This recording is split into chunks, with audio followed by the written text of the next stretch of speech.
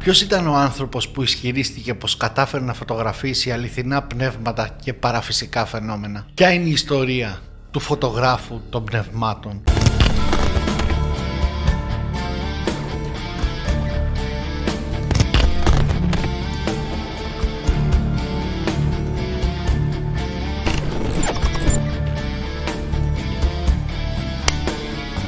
Οι ιστορίες του παράξενου και των ανεξήγητων ή παραφυσικών φαινομένων κυκλοφορούν και μεταδίδονται εδώ και χιλιάδες χρόνια. Από τότε μέχρι και σήμερα υπάρχει επιθυμία να καταγράψουμε αυτά τα φαινόμενα με όποια τεχνολογικά ή μη μέσα διαθέτουμε ανάλογα βέβαια και την περίοδο. Για το μεγαλύτερο χρονικό διάστημα υπήρχαν μόνο γραπτές αναφορές. Όμως κάποια στιγμή ήρθε η εποχή της φωτογραφίας ανοίγοντας ένα εντελώς νέο μονοπάτι για την καταγραφή ενός αθέατου κόσμου πέρα από όλα όσα γνωρίζαμε. Η περίοδος του πνευματισμού κατά την οποία υπήρξε διάχυτη υπεποίθηση πως ο άνθρωπος μπορεί να επικοινωνήσει με τον κόσμο των πνευμάτων έφερε στην επιφάνεια ανθρώπους που επιχείρησαν να φωτογραφίσουν το φαινόμενο κατά τη διάρκεια των σεάνς και των υπερφυσικών επιδείξεων. Δεν χρειάζεται φυσικά να επισημάνουμε πως οι περισσότερες φωτογραφίες ήταν κατασκευασμένες ή ψεύτικες. Εικόνες που προέκυπταν από φάρσες, τα γνωστά σε όλους hoaxes του ανεξήγητου. Υπήρξαν όμως και κάποιες περιπτώσεις οι οποίες έδειχναν πιο σοβαρές από άλλες. Μία συγκεκριμένη τέτοια περίπτωση έφερε στην επιφάνεια φωτογραφίες από ανεξήγητα φαινόμενα σε ελεγχόμενες συνθήκες. Αυτή η περίπτωση αν μη τι άλλο αφορά μια πολύ παράξενη και αλόγωτη συλλογή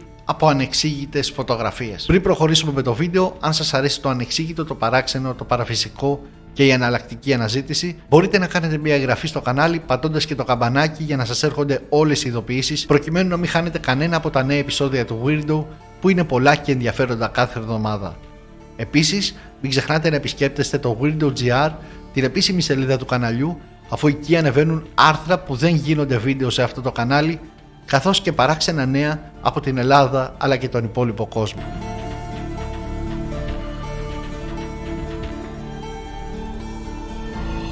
Τη δεκαετία του 1940 λοιπόν υπήρξε ένας πολύ γνωστός φωτογράφος ονόματις Βεν Τούρκ. Ο Τούρκ είχε αναπτύξει ένα ιδιαίτερο ενδιαφέρον για τον πνευματισμό που εκείνη την εποχή βρισκόταν ακόμη στην αχμή του. Πρόλαβε βλέπετε μια εποχή κατά την οποία τα διάμεσα ή τα medium επιχειρούσαν να έρθουν σε επαφή με τον κόσμο των πνευμάτων και επιχειρούσαν να μιλήσουν κατά κάποιο τρόπο με ανθρώπους που είχαν φύγει από τη ζωή. Όλα αυτά σε παράξενες και λίγο τρομακτικές συναντήσεις που πραγματοποιούνταν σε σκοτεινά δωμάτια και ήταν γνωστές ως σεάνς. Εκείνη την περίοδο ο Σβέν Τούρκ ήταν είδωλος στον χώρο της φωτογραφίας στη χώρα του, έχοντας στην καριέρα του πάνω από 50.000 φωτογραφίες σχετικά με τη ζωή στη Δανία και με αρκετές δικές του φωτογραφίες να βρίσκονται στην Εθνική Βιβλιοθήκη της Δανίας. Άρα μπορούμε να υποθέσουμε πως ήταν ένας καταξιωμένος επιφανής άνθρωπος και όχι κάποιος φαντασμένος. Ο Τουρκ ξεκίνησε να παρακολουθεί τη σεάνς του πνευματισμού αρχικά με μεγάλη επιφύλαξη, αλλά ταυτόχρονα έχοντας ανοιχτό μυαλό σε σχέση με την ύπαρξη των παραφυσικών φαινομένων. Μετά από αρκετές επισκέψεις, μπήκε στο μυαλό του η ιδέα να χρησιμοποιήσει τις φωτογραφικές του δεξιότητες ώστε να επιχειρήσει να αποτυπώσει τα ανεξήγητα φαινόμενα που τόνιζε πως ο ίδιος είχε δει να συμβαίνουν σε επικλήσεις πνευμάτων.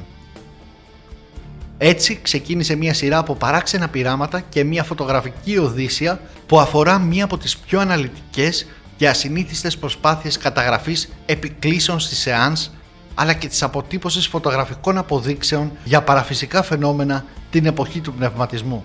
Ο Τούρκ ανέπτυξε ένα σύστημα με τρεις κάμερες που ήταν ευαίσθητες στην υπέρυθρη ακτινοβολία και το οποίο είχε σχεδιαστεί έτσι ώστε να τοποθετείται σε διαφορετικές γωνίες θέασης ή λήψης και με τέτοιο τρόπο που να δείχνει σχεδόν τα πάντα από πίσω, από πάνω και από κάτω. Στη συνέχεια επιχείρησε ο ίδιος να δημιουργήσει ένα δικό του ελεγχόμενο περιβάλλον, ώστε το πείραμα να είναι όσο πιο ακριβές γίνεται, αλλά και να αποκλείσει το σοβαρό ενδεχόμενο εξαπάτησης από τους πνευματιστές.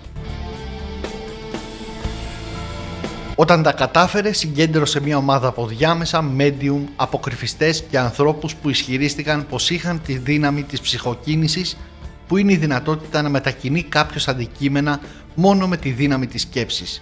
και έστησε τις κάμερες ώστε να δει αν τελικά θα μπορέσει να καταγράψει οτιδήποτε παράξενο ή αφύσικο. Και αν δούμε τις φωτογραφίες του και πιστούμε για τα όσα κατέγραψε, τότε τα ανεξήγητα φαινόμενα ίσως να ήταν πολλά. Κατά τη διάρκεια των σεάνς ο Τούρκ ανέφερε μια μεγάλη γκάμα από ανεξήγητα φαινόμενα. Καρέκλες και αντικείμενα να κινούνται μόνα τους ή να αιωρούνται, πράγματα να πετάγονται μόνα τους από τα τραπέζια, ένα μεγάλο πάγκο εργασίας να σηκώνεται στον αέρα μόνος του και να στριφογυρίζει, και ακόμη και μια μεγάλη ντουλάπα που δεν μπορούσαν ούτε δύο άντρες να σηκώσουν μόνοι τους, να μετακινείται στη μέση του δωματίου από κάποια αόρατη δύναμη. Αν σκεφτούμε πως όλα αυτά έγιναν σε δικό του ελεγχόμενο περιβάλλον στο στούντιό του στην Κοπενχάγη, τότε προφανώς Σύμφωνα με τα λεγόμενά του πάντα, το ενδεχόμενο της εξαπάτησης ήταν πολύ μικρό και κανείς πέρα φυσικά από τον ίδιο, δεν θα μπορούσε να σκηνοθετήσει αυτά τα φαινόμενα. Για πολλούς μήνες λοιπόν ο Τούρκ κατέγραφε στο φακό της κάμερας όσα περισσότερα τέτοια φαινόμενα μπορούσε και έτσι συνέθεσε αυτή την αλόκοτη συλλογή φωτογραφιών για την οποία μιλάμε σήμερα.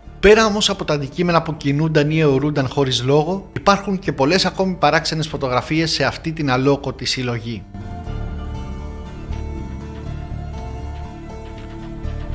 Υπάρχουν αρκετές φωτογραφίες του διάμουσου Μπόρχε Μικάελσον, στις οποίες εμφανίζεται να αιωρείται, αν και πολλοί αναφέρουν πως η κίνηση μοιάζει με άλμα.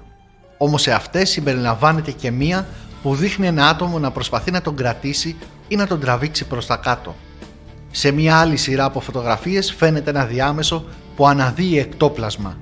Το παράξενο υλικό που λέγεται πως είναι προϊόν πνευματικών δυνάμεων. Αν δεν έχετε δει φωτογραφία από εκτόπλασμα και παρατηρήσετε μερικές, θα δείτε σε πολλές εικόνες να εμφανίζεται κάποιο πρόσωπο που υποτίθεται πως είναι του ανθρώπου που είχε φύγει από τη ζωή. Πολλοί λένε πως αφορούν πραγματικά ανεξήγητα φαινόμενα αφού έχουν εξεταστεί επίσης από κορυφαίους δανούς αναλυτές φωτογραφιών οι οποίοι δεν φαίνεται να βρήκαν σημάδια χειραγώγησης ή απάτης στις φωτογραφίες. Το 1945 ο Τούρκ μάζεψε τις φωτογραφίες και τις συμπεριέλαβε σε ένα βιβλίο που μεταφράζεται σε ελεύθερη μετάφραση στον τίτλο «Γνωρίστηκα με τα πνεύματα». Έκτοτε η συλλογή αποτέλεσε αντικείμενο συζήτησης στους κύκλους του πνευματισμού και της αναζήτησης των παραφυσικών φαινομένων. Προφανώς το φωτογραφικό υλικό τους Σβέν Τούρκ έχει κατακριθεί από τους σκεπτικιστές και για αρκετούς μάλιστα λόγους. Πολλές φωτογραφίες φαίνονται σκηνοθετημένες και συγκεκριμένα εκείνες που δείχνουν αντικείμενα να μετακινούνται ή να αιωρούνται έχουν ένα θόλωμα, το γνωστό Blair. Λες και κάποιος είχε πετάξει τα αντικείμενα στη μέση του αέρα και τα είχε φωτογραφίσει κατά τη διάρκεια της πτώσης τους. Και όπως είπαμε και πριν, η αιώρηση του medium είναι λες και ο ίδιος πηδάει στον αέρα, απλά και μόνο για να βγει η φωτογραφία. Το εκτόπλασμα επίσης κατά ένα μεγάλο ποσοστό έχει απομυθοποιηθεί, αφού χρησιμοποιήθηκε πολύ συχνά σε ψεύτικες φωτογραφίες από απαταιώνες. Και ο Τούρκο, όπως είδαμε, είχε καταγράψει εκτόπλασμα σε αρκετές δικές του φωτογραφίσεις. Υπάρχουν βέβαια και κάποιες φωτογραφίες που φαίνονται φαίνονται όντως αυθεντικές. Όμως οι σκεπτικιστές πιστεύουν πως ακόμη και αυτές μπόρεσε να τις κατασκευάσει με τα μέσα που εκείνος διέθετε εκείνη την εποχή. Έτσι, παρά τις διαβεβαιώσεις των ειδικών της φωτογραφίας που ήταν βέβαιοι πως οι φωτογραφίες αυτές ήταν αυθεντικές,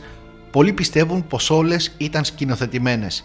Με τον Τούρκ είτε να πέφτει θύμα τσαρλατάνων, είτε να είναι εκείνος εξ ολοκλήρου πίσω από την απάτη.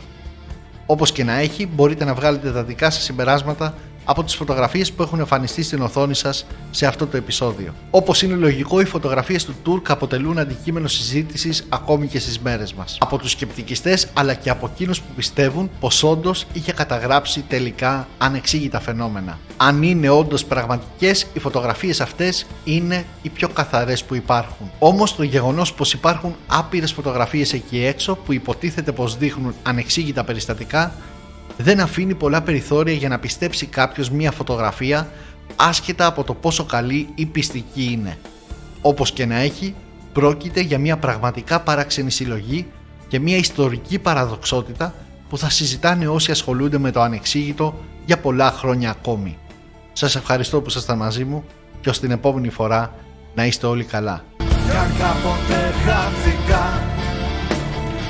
Κι αν έψαχνα απαντήσεις να βρω μπροστά μου Μέσα στο φως ξαφνικά.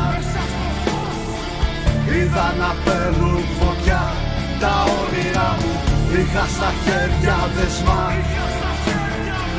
Είδα ανθρώπους να γελούν, να με χλεβάζουν Μα με μια κίνηση απλή.